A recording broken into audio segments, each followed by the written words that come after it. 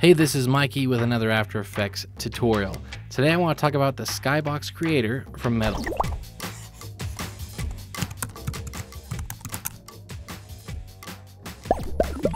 The Skybox Creator is an environment map creator. It's a script and a plugin that allows you to create cube maps, sphere maps, or equirectangular maps, environment maps, and it's all from moving video of your composition. So basically, whatever your composition is, you can turn that into an environment map. Really, really, really cool. I actually tried um, doing this on my own without the plugin, and it's really hard. um, you have to mesh, warp, and all sorts of things, and this just makes it so much simpler. So let's start, let's make an environment map, and then we can also take this, export it into a 360 degree video that you can play on YouTube, and you'll be able to uh, navigate around.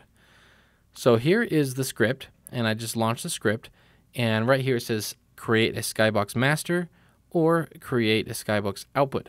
And what I want to do is a master, so let's set that to um, let's just do something small for now, but you can make that bigger. If you do it too big, then your graphics card might not be able to handle it. Um, so let's, yeah, let's go for 1024. And this is going to create the composition in which I'm going to be putting whatever I want to be the environment map. So this is going to be my main composition. That's why it says create skybox master. Click on that. And then this is where I'll make something. So I'm going to just hit command Y E3D. I'm going to add just some cool element 3D something or other to this. So let's go to the scene setup. I'll do what I kind of had done before. I did another uh, 360 video on YouTube, and I made it out of rings. So I'm using Element 3D version 2. Let's just make a thin ring. Increase the segments so it's more smooth. And let's give this a shader. Let's make these uh, gold gold rings. That's pretty cool. Okay. There's the gold ring right there in the center. But what I want to do is I want to come into the group, particle replicator, turn this into a sphere, and let's add some. You can see it starts to look funny because what's going on is if I come into the custom view, you can see how everything is just all jumbled up in the middle. So let's come back into the scene setup and let's move this off to the side. There we go, that looks better. And let's do some quick animations. So in the particle look, let's come into particle rotation and let's keyframe the random rotation. Put a keyframe at the beginning, put one at the end, and then we're also going to keyframe under deform Again, this is version 2, so there's deform menu. Let's go to bend.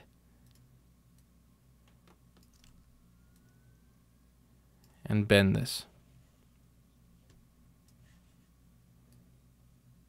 Okay. Let's go back to our active camera. Looking pretty good. Now let's add a background to this. Go back into the scene setup. And if I click down on environment, so these are environment maps right here. This is what we're going to be making is one of these, um, but we're going to make it so that we can upload it to YouTube. So I'm going to just grab one of these environment maps and you can see it creates kind of this background that you can see all around. And then now that I have that applied, let's go down to the render settings in element, physical environment, and show in background. All right, so now that we have this animation done, make sure your comp is selected and then come over to the script and then this time we're going to generate a Skybox output. Click on that.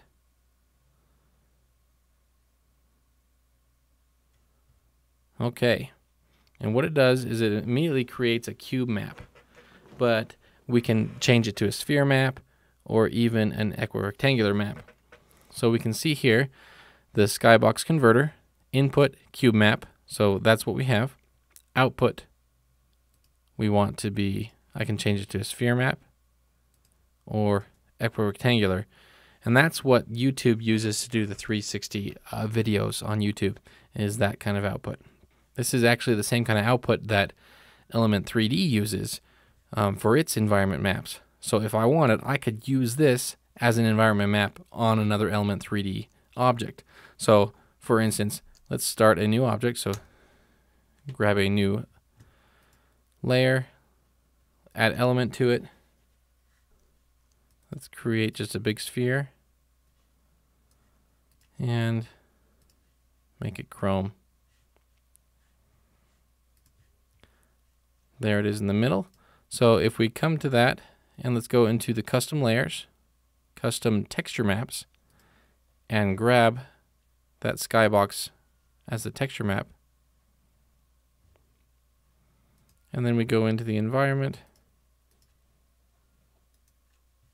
And you can see it did the wrong one because it's applying it before this um, before this plugin. So what we need to do is we need to pre-compose this. So Command Shift C and make sure we move all the attributes and there looks just good now.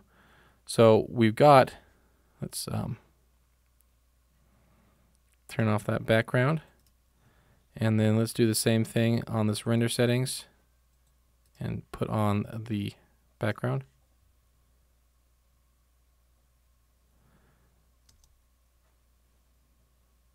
And you have now a moving environment map on our Element 3D model. Pretty cool. But that's not what we're here for. Let's go ahead and hide that. I want to export this in such a way where I can bring it onto YouTube as a 360 video. And what you need is another utility called the 360 Video Metadata uh, program. And there's a link in the description where you can find that. And what it is, is after I export this as an MP4, has to be MP4 uh, because that's what the metadata injector uses, is I need to put some metadata that YouTube can look at this and go, yes, this is a 360 degree video. If I just upload this just like this, then when I get onto YouTube, it'll look just like this and it won't look like a 360 video. So make sure you download that other program. But first, let's go in and export this. And I need to export it to uh, Adobe Media Encoder. Okay, here it is. I'm gonna I'm gonna just match the source, make sure it's an H.264 and that it says .mp4 at the end. That's what it needs. So I'm going to pick a spot and I'm going to export this, and then I'll show you the the 360 the YouTube uh, metadata program. Okay, so that's all done rendering. And one thing that you need to realize is it's not going to be a normal um, resolution 1920 by 1080 or even 16 by 9. It's actually outputs in a 2 to 1 format. So it is twice as wide as it is tall. And that's the shape of the environment map. So make sure that you're not exporting in such a way that it creates black bars on top and bottom because then you're going to have little black circles on top and bottom of your YouTube 360 video. So I'm going to open up the 360 video metadata program and all it is is this. It looks like this. Um, see 360 video metadata um, inject and save, and it's asking me to find the video. So I'm going to find the video I just exported. Click open, and it brings it in here. Click inject and save, and let's give it a name, rings.mp4, and that's it. Now this thing is ready to upload to YouTube. Now make sure you're using Chrome. Chrome is the browser that supports the 360 video. If you're not using Chrome, then it's going to look just like this when you upload it. So what I'm going to do is I'm going to go ahead and upload this video as an unlisted video and you can there's a link to where you can go check out how this video looks as a 360 video on YouTube. Make sure you're again you're using Chrome because that is how you do it. Also, lots of links to this, links to um, the Skybox program on Mettle links to where you can find the 360 um, metadata injector for YouTube, and also links to this video. So if you have any questions, feel free to put them down in the comments below. I'll be doing some more stuff with environment maps. I wanted to show you this because it's really kind of a cool thing, and there's really not another plugin out there that can do this to create these 360 videos um, for YouTube. So if you have any questions, any requests as far as what this environment map program can do, just let me know. And if I can't answer them, then I'll get the guys over at Mettle to answer them for you. Um, or I can do some testing and things like that. So thank you so much for watching, and make sure you go check out the blog, um, check out the product, and uh, check out this video here as well. Um, and we'll see you next time.